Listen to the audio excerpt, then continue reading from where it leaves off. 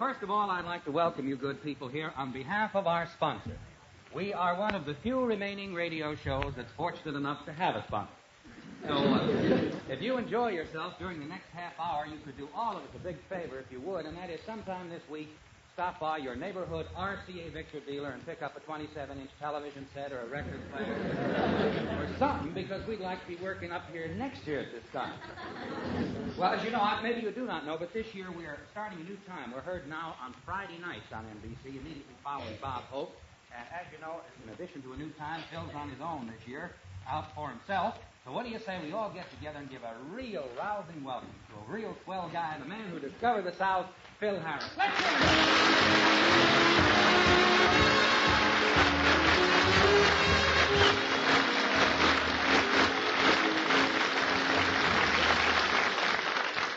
Thank you, and you're right. no, seriously, I can't tell you what it means to me to have me come out here all by myself. You're all laughing and smiling and applauding and glad to see me. And I just want to tell you I love you for it because I need it. I've been with Jack Benny for 16 years, and there ain't no money connected with that job. Old dry pockets, boy. Takes you in a room on Saturday night, gives you a fast course of love and bloom, and you've had it. I got off to a bad start when I married Alice. They told me she had money, but I'll be damned if I can find it. I've looked everywhere. hey, I want to say, isn't this wonderful having all these, uh, uh, the sailors, all these guys from the Navy in here?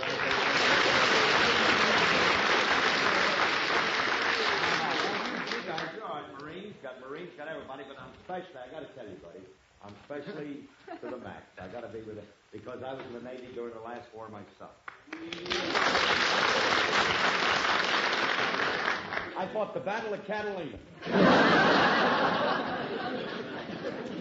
Laughing. We lost eight lobster traps.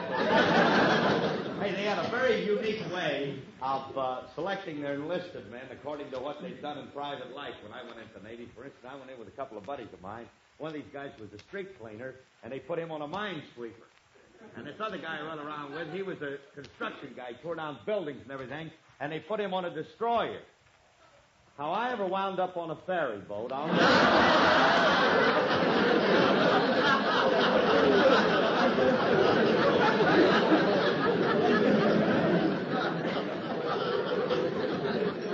It was fun.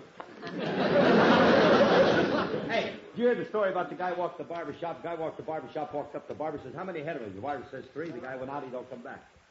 Next day comes in again. He says to the barber, "How many ahead of him?" The barber says, three. The guy goes out. He don't come back.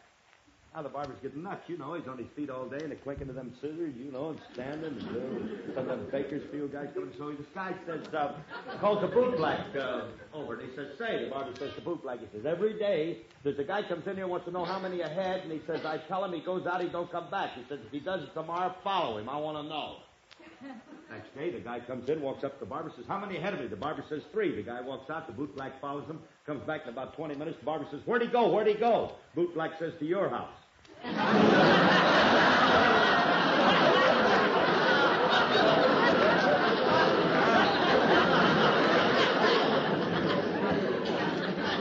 about the guy who used to part his hair in the middle?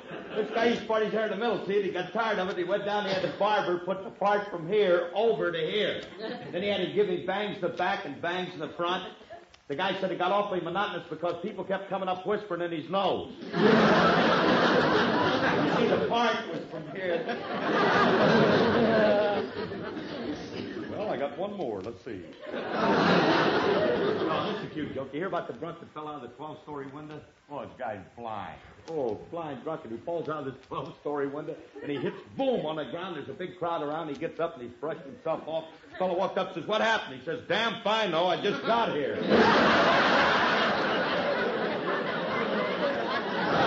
You'll be all right.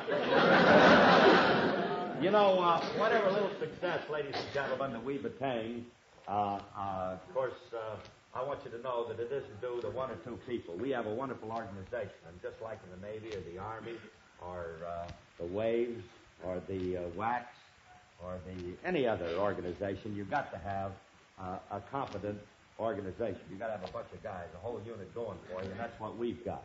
And I'm very happy and very proud to tell you that I have one of the best organizations, I think, in radio. For instance, everyone you see sitting on that stand does an outstanding job on his or her particular interest.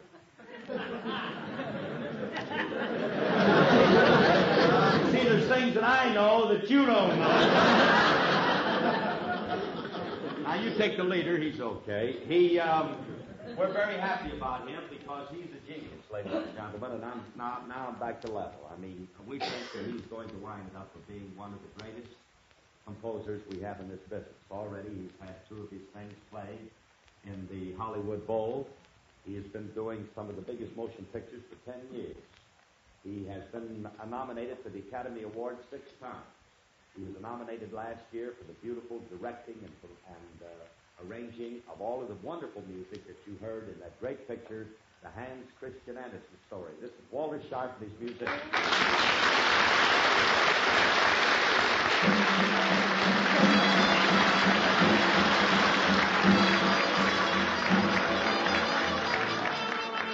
Think that Navy's rough, huh? Oh, hey, I got some guys. I'd like to take time for you to meet all the guys in the band because everyone is important, not because I'm going to pick a couple out. We have boys in here that are originators of the Dixieland. A lot of the guys who were with the, the Bobcats. A lot of fellas. That, all of them are important, but I got a couple of guys I know you'd like to meet. I have one fellow I'm going to introduce to you that. Uh, loaded, don't need nothing, but he um, he comes over here because he likes to be around me. And uh, he has his own show, and I want you to listen to it. Incidentally, it's on Friday nights. It's on later tonight, I'm sure, about 11 o'clock, I think. I'll check with him in a minute. But the one and only Alvino Rey, ladies and gentlemen.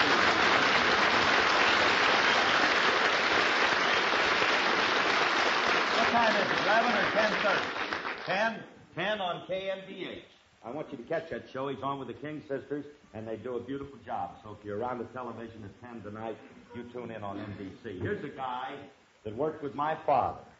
And uh, Dad used to tell me about him. He says, Phil, he said, this boy has a terrific armature, and uh, I think if we can ever get him out of the circus, he might amount. So, since that time, he went on to great heights. His records, and now, ladies and gentlemen, are collector's items some of the records that he made years ago, and the ones that he made now. No, I'm not kidding you. And the ones, of course, he does a little touch-up job here, but no. the one and only Red Nichols and these five pennies.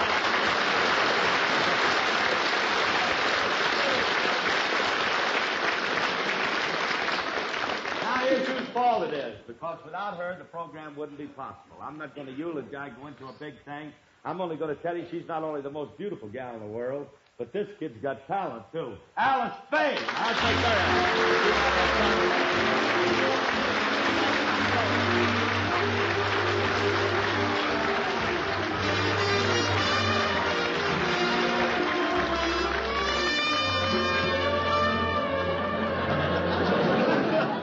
Marlon Brando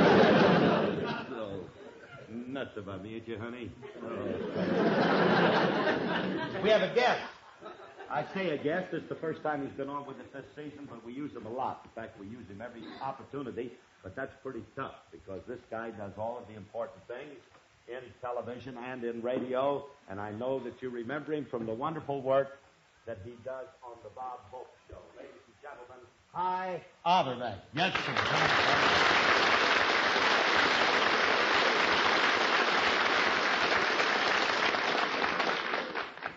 Might be a little young and too good looking for this show. There's a kid that steals our show every week. We're very happy about it because he's got a lot of talent. My wonderful kid plays the part of Julius Abbruzio, the grocery boy, Walter Tetley.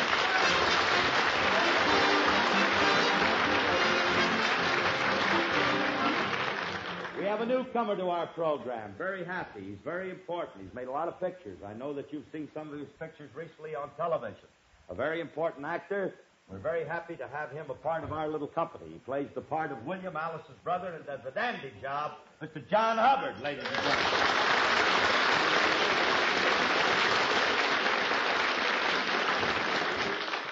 those wonderful singers that make all those commercials on the Benny Show been with us ever since we started. The Four Sportsmen, ladies and gentlemen.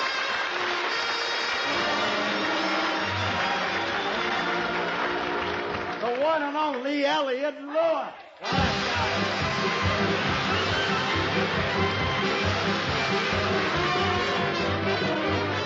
Thank you so much for coming. Thank you guys for coming in to see us. I hope you enjoyed the show. And if you do, for God's sake, laugh, will you?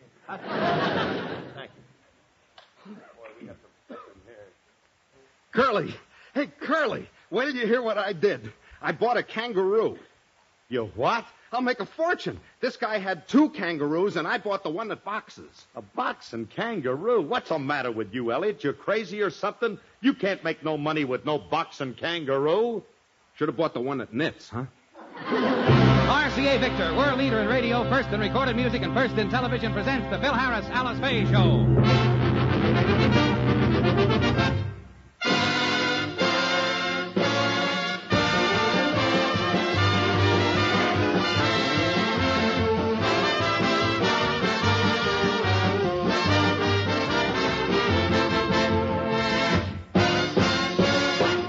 Enjoyment, here is the Phil Harris Alice Faye Show, transcribed, written by Ray Singer, Dick Chevillat, and Ed James, with Elliot Lewis, Walter Tetley, John Hubbard, Jeanine Roose, Ann Whitfield, Walter Scharf in his music, and yours truly, Bill Forman. Tonight's little aberration is aptly titled, How to Repair a Living Room, or There'll Be Lots of Sand for the Concrete Mother, I'm Coming Home with a Load.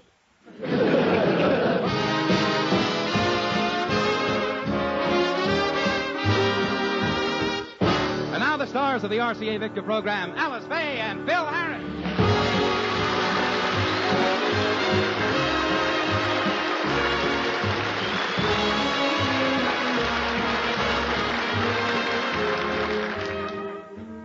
It's morning in the Harris household, and Phil, shy, modest, and retiring, is singing as he heads for the kitchen. Wait a minute. Shy, modest, retiring? Well, that's what it says. I dream of Harris with the light brown hair, voice like an angel, talent he can spare. He's so. Oh, hi, Alice. How's my little love bug this morning? Oh, Phil, I was going to surprise you. You raised my allowance? No, I baked a cake. Oh. You're disappointed. Look, honey, I love you, but let's face it. You don't know how to bake.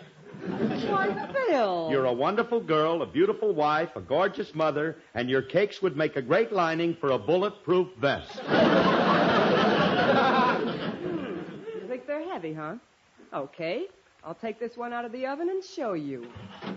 Hmm, The idea of saying my cakes are heavy.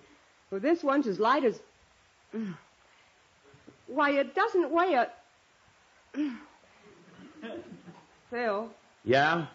help me lift it out of the oven. Too much to lift alone, huh? No, it isn't either. It's just stuck. I tell you, my cakes are not heavy. Okay, they're not heavy. But how come we got the only stove in town with bow legs? Well, I think my cake looks beautiful. But, honey, it's lopsided. It's higher on one side than the other. Well, that's not the fault of the cake. The floor slopes down. Lord. Oh, kid, you've been standing over this stove too long. Well, it does.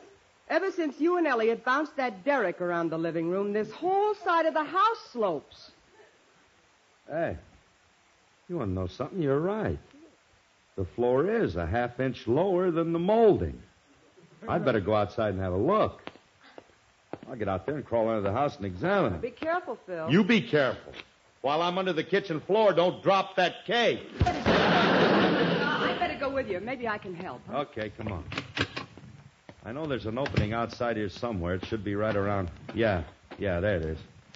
I'll just take the screen off and crawl through. Uh, nah, ain't gonna work. I can't make it through there. My shoulders are too broad. Maybe you can get through, Alice. I don't think so, Phil. My hips are too. I'll make it. it is a tight squeeze. Yes, yeah. Hey, wait a minute, honey. I'll grab your feet and give you a little shove. Come on. Just Just a little more and you'll make it. Just. Hi, Curly. Oh, hello, Elliot. What you got in your hands? Alice's feet. What happened to the rest of her? I'm shoving her under the house.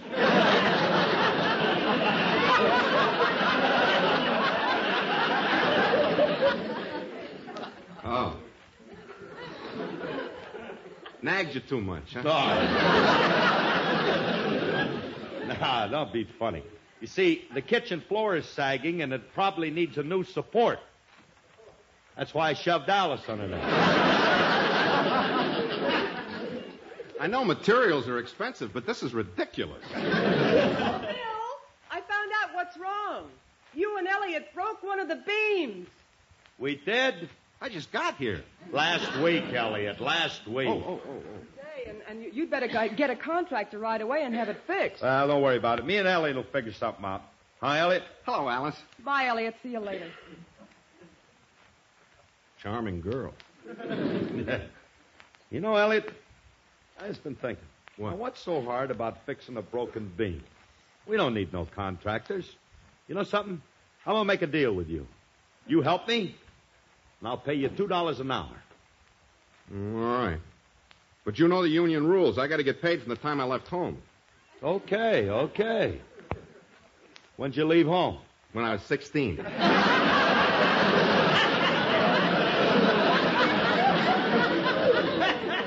Uh, the way I figure that's uh, 18 years at $2 an hour.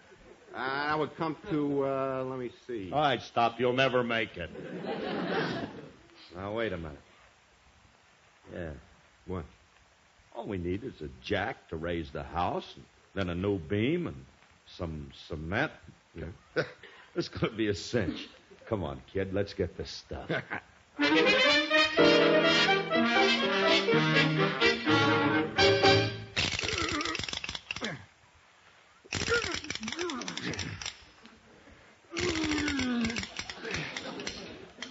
Hey, Curly. This tough work, jacking the house up like this. It's hot, too, even with our shirts on. You stop complaining? Just keep pumping on the jack, huh? We got to get the corner of the kitchen up a little higher. Come on, pump it up, pump it up.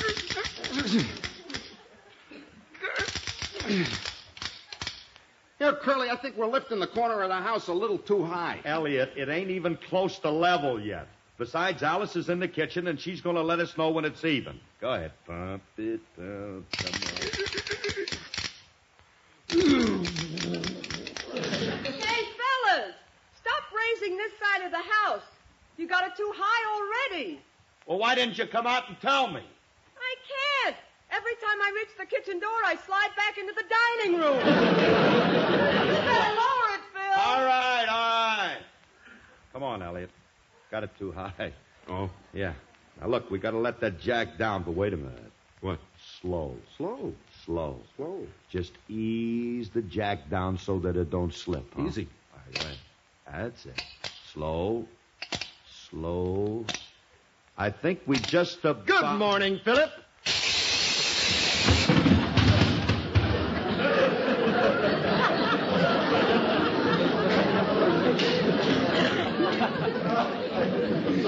I think I'll scalp him. One hair at a time. Either one of you fellas see my arm? Willie, you bird brain, look what you did. You made the jack slip and the house settled back again. You know, Alice told me you were out here. What are you two doing anyway? We're trying to raise the house so we can put a new foundation under the corner. Oh, well, then it's a good thing I came along. I'm very proficient at this sort of thing. I can set in the cement. Okay, go set in it.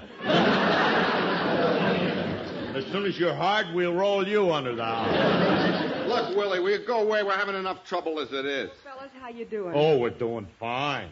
Thanks to your brother, we got to start all over again. Yeah, look, Curly, you jack up the house, I'll go mix the cement. Good. What are you going to mix it in? Oh, I don't know. I'll find something around the place. All right, go ahead. Philip, you're going to require some help. Just wait till I take my shirt off. No, no. Do I have to look at that purple road map again? Phil. Okay. All right, Willie, latch onto that jack handle and get the pumping. Come on, Tallulah, pump it up, pump it up. Willie, stay on the ground. You're going up with a jack. Hey, Curly, you ready for the cement yet? I'm getting it mixed. Oh, you getting it mixed, huh? Yeah. What are you mixing it in? I put it in that cement mixer you got on the service porch. A cement mixer on the surf. Elliot, that's my washing machine. It is? well, that'll give us nice, clean cement. Phil, where do you manage to get such stupid friends? I got contacts. Don't get excited, honey. It ain't gonna hurt the washing machine. But I had my new girdle in there, and now it's mixed in with the cement. well, honey, I guess your foundation is gonna be in the foundation. Oh, you've known better than to let you two do this job. I'm going in and shut the machine off before it's completely ruined. She seems to be upset about something, Curly. Yeah, she'll get over it. You know something? What's that? I think we ought to get that old beam out first. Suppose I tie this rope around it, then the three of us can yank it out, okay? Okay. All right, wait till I get it knotted. I'll just put a sheep shank on this kid. Just cinch it up. There. Now, the three of us just throw the rope over our shoulders and pull. Huh? All right. One, two, three, heave. Well, if it ain't the vulgar boatman. Yah-ho, heave ho! Yah-ho, heave ho!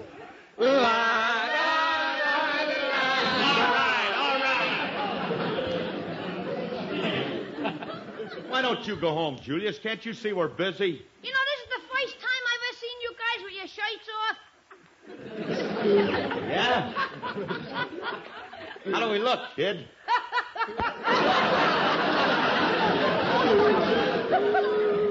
What's so funny? You look like tree halibuts in a snowstorm. Is that so? That's telling him, Willie. I didn't know Willie could ad lib like that. Oh, he's a mule. Oh. now, where were we? We were trying to pull the beam out with the rope. Oh, yeah, yeah. Why don't you crawl into the house and knock the beam out with a? Because we're too big to fit under the house, that's why. And where are we going to find somebody stupid enough? Don't you look at me like that. I ain't climbing under no house. Philip, I have an excellent idea. Great. I'll pack your bags. Julius has his truck here. Now, why don't we tie the rope to his rear axle and pull the beam out that way? Julius has a rear axle? I believe he means the truck, Curly. Oh. I sort of liked it better the other way. Well, what do you think, Philip? Well, let's give it a try. What can we lose? Is it okay with you, Julius? Certainly. Give me the rope. I'll tie it to the truck. No, never mind. I'm going to tie it on. I'm going to make sure it's good and tight. Oh, sheepshank, this kid, too. hey, I'll tell you what you do, Julius. You go start the motor. Okay. You get it good and tight now, Curly. I'm getting it good and tight. Don't worry. There. Okay, Julius. Let her rip. Julius! Julius, stop the truck! Julius! Hello, Elliot. Bye,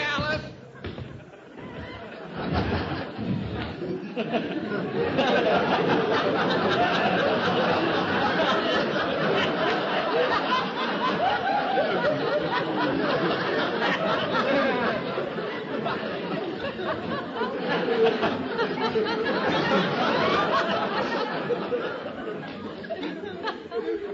Curly, where do you suppose Alice and the kitchen are going?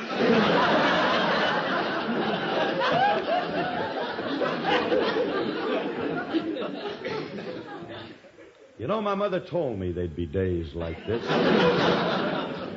I remember once she said to me, Philip, she says to me, someday you'll be standing in the driveway and Alice in the kitchen will go by.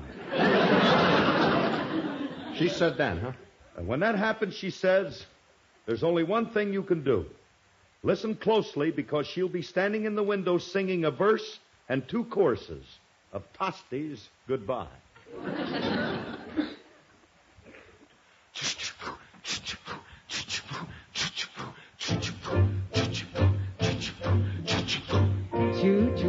train, chug chugging at the station. Choo choo train, conductor pull the cord. Choo choo train, you know our destination. All aboard. Choo choo train, chug chugging out by Jiminy. Engineer, toot toot toot toot toot. Smoky smoke, puff puffing up the chimney. We're en route, pour to fix the room, and pour to bring some ice. Pour to get a broom, sweep out the shoes and rice. Pour to thanks a lot, you've been so very nice. Pour to tell you what, here's a quarter, shoo shoo porter. Choo choo train, please pardon us for hiding. I'll explain in case you didn't guess. Choo choo train, it's heaven to be riding. The honeymoon express. Porter, fix the room. Bring some ice. Porter, get a broom. Sweep out the shoes and rice. Porter, thanks a lot. You've been so very nice. Porter, tell you what. Here's a quarter. Shoo shoo, Porter. Choo choo train, please pardon us for hiding. I'll explain in case you didn't guess. Choo choo train, it's heaven to be riding. The honeymoon express.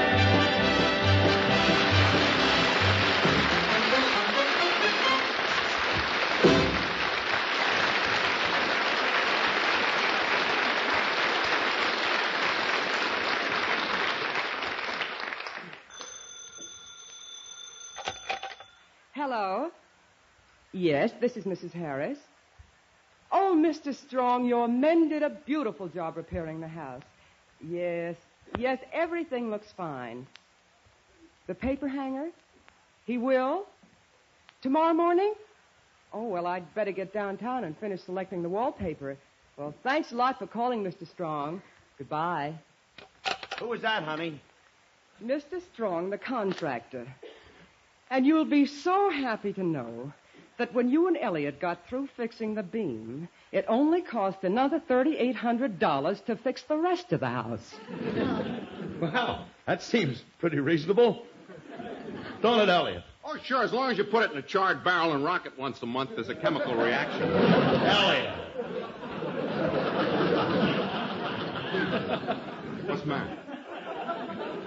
Hey, Alice, wait a minute. Where are you going? Downtown to do some shopping. And Phil, Yeah, honey. while I'm gone, don't fix anything. Please. We won't, baby. We'll just sort of stand around. Stand around quiet, huh? What's the matter with her? Ah, she's a little burned up. Contractor charged her thirty-eight hundred bucks. For one little beam? Yeah. Of course, he threw in the windows and the door and put the kitchen back where it was. I'd have done it for half. yeah. Hey, I'll get that. Little... All right. Yes? I'm from Kerwin's decorating shop. I got some wallpaper for you. Okay, buddy. Put it down over there.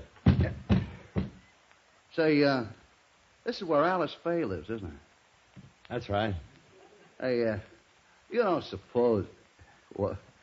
Could I get her autograph or something? Yeah, you could, but she's out right now. Oh, darn it, I never have any luck. I'm, uh, Phil Harris. You know, I'm kind of anxious to see her in person. I'm a fan of hers. I'm Phil Harris. I listen to her radio show every week. Her radio show. Gee, when she sings them love songs, it's like she was singing them straight to me. Hey, buddy.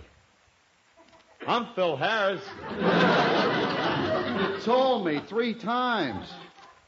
Do you know Mr. Fam- Miss Faye, mister? Slightly. She does my laundry. Of course I know her. I'm related to her. Well, you ought to be proud, mister. You sure got a beautiful daughter.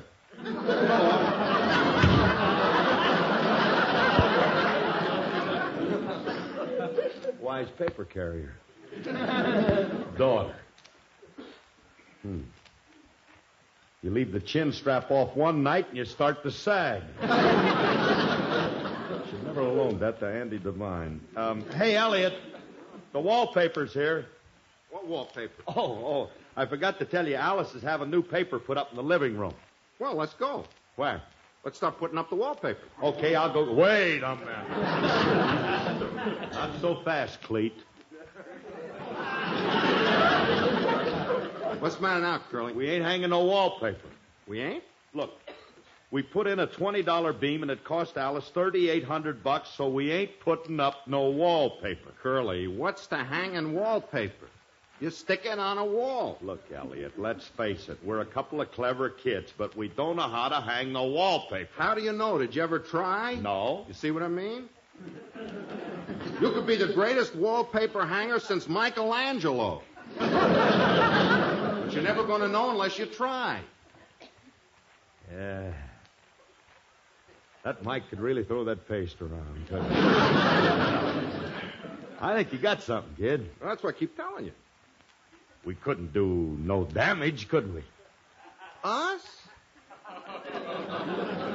What a preposterous idea. Well, then let's give it a whirl. Look, you go out in the garage and get a couple of ladders, and I'll mix up a batch of paste. Okay, easy on the vermouth.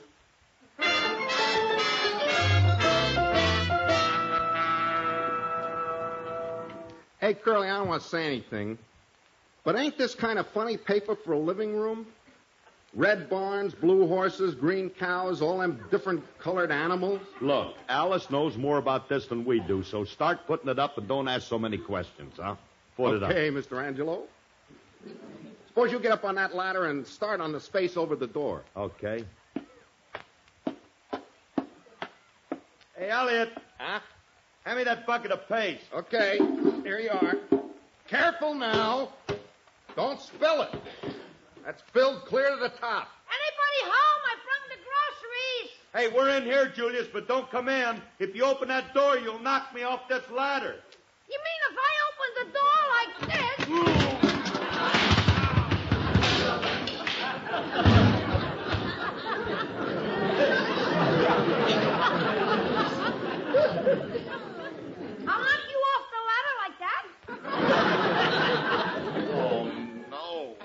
Now look at that mess. Paste all over the place. And look at that big sloppy blob right in the middle of the rug. I'll thank you to stop insulting me and help me.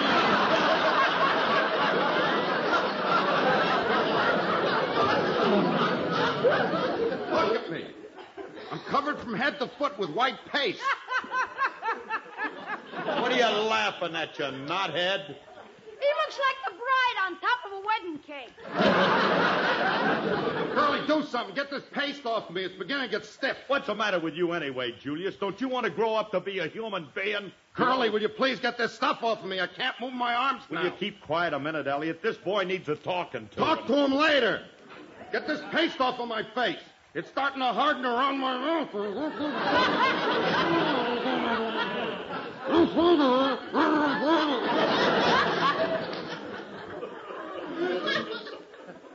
Are you through talking, Elliot? I guess he is. Hey, wait a minute now, Julius. He ain't kidding. Look at him. Feel him. Ooh, he's as hard as a rock. How am I going to soften him up? Why don't you soak him in turpentine overnight? hey, I got a better idea. Leave him hard and you can sell him as a cheap statue. Ah. Julius, please, why don't you go home?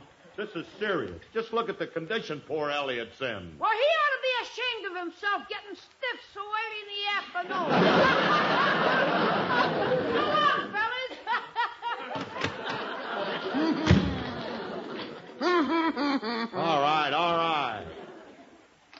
Got to do something about that kid. How you feeling, Elliot?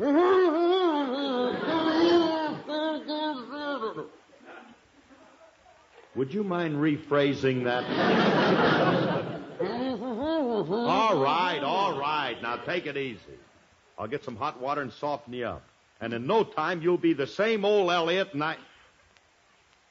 Come to think of it, is that what we want? All right, I was only, I'm only kidding. I'll get the stuff off you, and then we can start papering this room. You get Ah,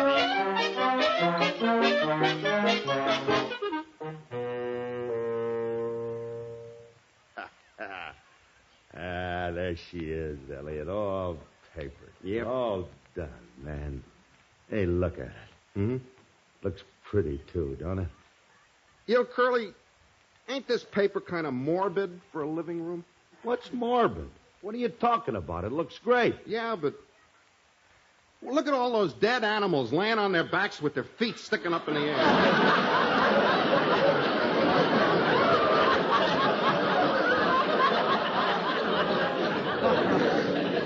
What are you, crazy or something? There ain't no de- Elliot, you flea brain, you put that paper on upside down. oh, no, we're never going to be able to get it off. What am I going to do about Alice? Teach her to walk on her hands? It's a good thing you didn't do the whole room. Look at my side. Looks fine, don't it? I can't tell. It's too dark to see. You know, that wallpaper sure darkened up the room. That's just because the shades are down. Go over to the window. Pull up the shades. Okay.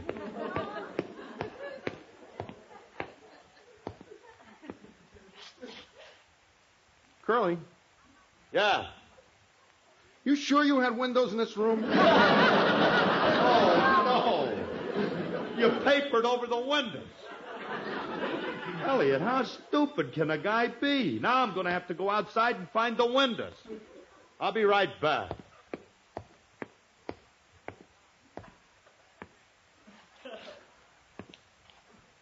Elliot, What? I won't say nothing about your windows if you don't say nothing about my door.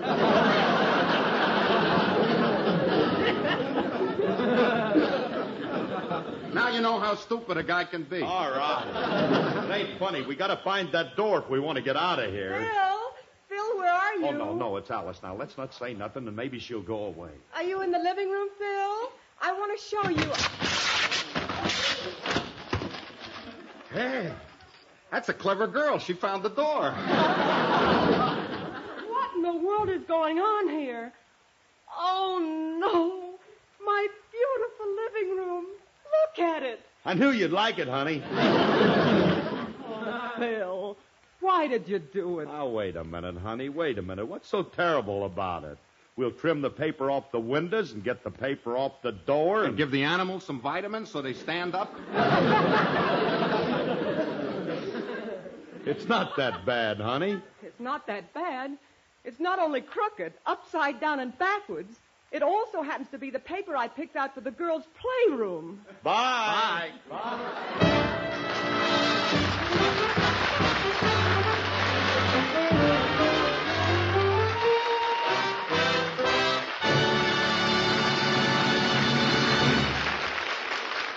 Alice and Phil will be back in just a moment. RCA Victor's new 45 extended play records give you more music for less money. Almost 15 minutes per record. They make the Victrola 45 phonograph a better buy than ever. It's the simplest automatic phonograph made. All play and no work. You can listen to an hour and a half of your favorite music without changing a record. Listen to the Victrola 45 phonograph with the economical new 45 EP records at your RCA Victor dealers tomorrow.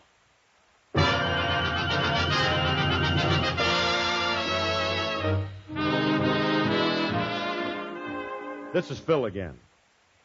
Last year, motor vehicle accidents led the list as the nation's number one accident killer. Too many of us think that. Too many of us still think of accidents as striking only the other fellow. We forget that each of us could be the victim of an accident through our own thoughtlessness or carelessness. So no matter where you drive, drive carefully. Thank you and good night. Good night, everybody.